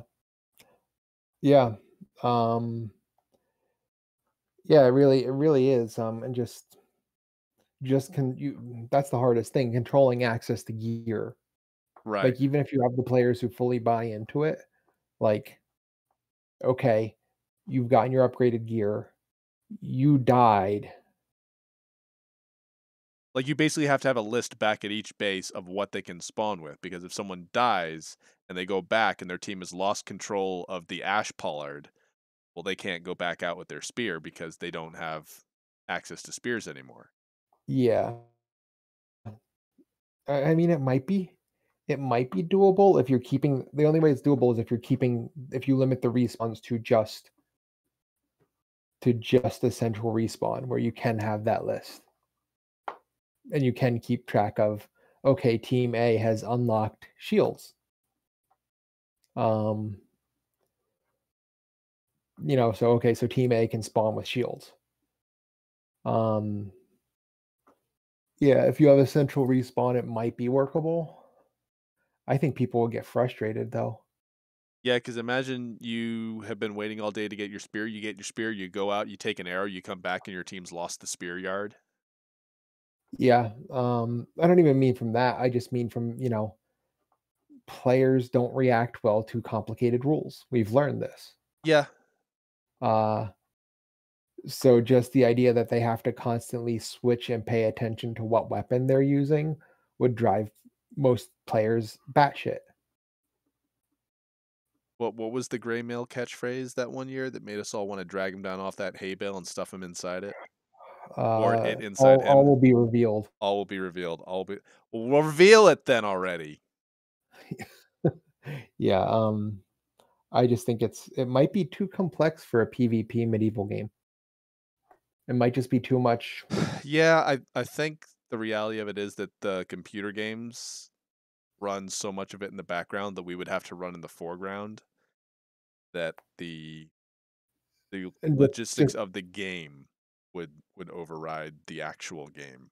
Yeah, it, ju- just and just not being able to do it instantaneously, like not being able to have everything automatically update. Um, Like unless you did it Halo style and had like loaner weapons scattered throughout the woods that people could find and use as pickups. And then if they die, they drop the pickup. I don't think that would work at all. um, yeah, I, I- don't think that would work at all. Um, for a bunch of reasons. Um, but you know, I, I think until until there's 50 years more worth more development of cell phone technology, and there can actually be legit heads-up displays that are projected onto your retinas. Um, and then you could just run an app that manages all this shit and just broadcast that info to everybody until that becomes reality i don't think this is i don't think this is viable i just think that the logistics are just too complex Yeah, and the thing Um, is, there are logistics that are already existent in um, some campaign games. So that's why this sort of thing can work, like the hard Scrabble setting, work a little better in those games, whereas it doesn't work so well in a a more PvP focused, high fatality game. well well the ability of a campaign game to centralize things Yeah, um, is the is the big to have a, a centralized physical location so you know in dead legends there's the the saloon um, but this this the idea of that there's a player base or a town or whatever that lets you do a lot more. Um, that lets you have a lot more control of what everyone is doing. And i thi- think i think uh how would this work in a medieval uh pve game? So let's say same same starting point. You start everyone starts with swords. Right. um you want to make this Hmm. how would this how would this work how would you how would you without assuming you can't just butcher your players that's the big thing assuming you can't just butcher your players uh, because they have persistent characters and complete slaughter is generally frowned upon um You need enough NPCs to be a threat. I think is, is something.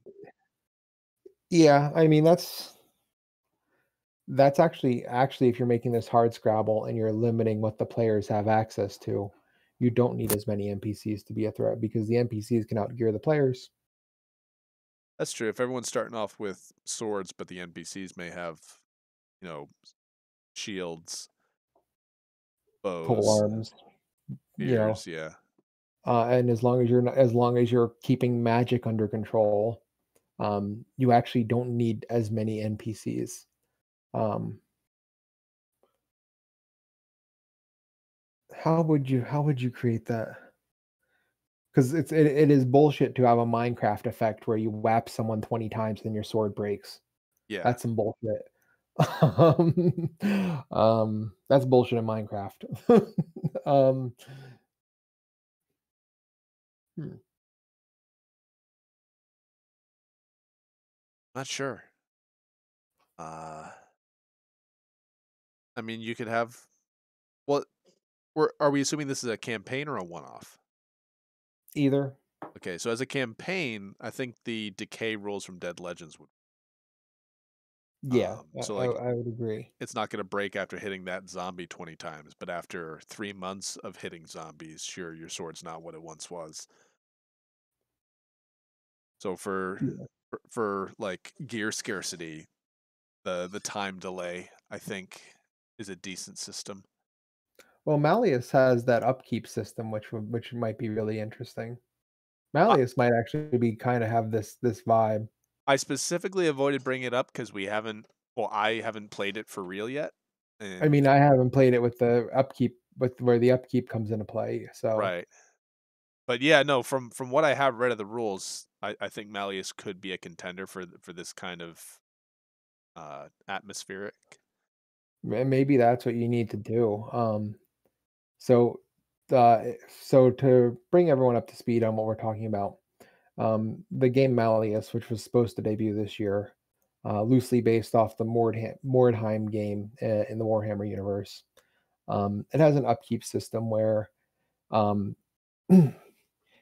where depending on how much of the uh, not glowstone you acquire for your faction, um, you can get more or less upkeep. Um, and upkeep lets you bring weapons into the game. Upkeep upkeep lets you bring gear into the game. So um, so my character is running with full armor, a helmet, and a pole arm. Um, that's three points of upkeep for the armor, one for the helmet, and I think two for the pole arm. Um, so my character needs six points of upkeep every game just to bring that gear onto the field. Yeah, I think mine was like a crossbow, a set of quarrels, a knife, and I think maybe the armor as well.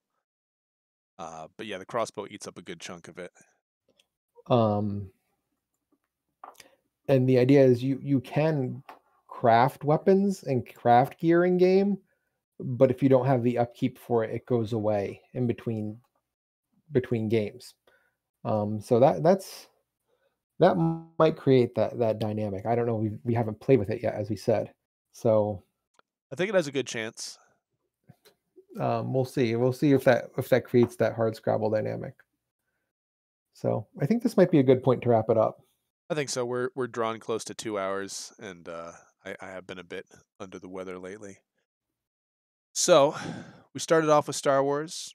We we were always going to lead it back to to gaming. Um, we- we- we're trying to to kind of broaden our approach a little bit. We don't just always want to talk about hitting people with sticks. Um, there, there's other forms of the basic idea behind fighting words is any sort of competitive or cooperative combat. That could be shooty games. That can be mostly we've been talking about LARP and, and medieval stuff. Um, but back when I first started it, I did want to talk about like airsoft, which we were playing at the time. I haven't really played much since because they closed the place we used to play. Um, but also like different co-op games that we play with people online, stuff like that. Um, and we'll just we'll just see how things go. Try and explore a few different topics, but uh, today we started with Star Wars. We led it back to games, and I think that's uh, a good sum up. Yeah, I think so. So I'm Tycho, and these have been Fighting Words.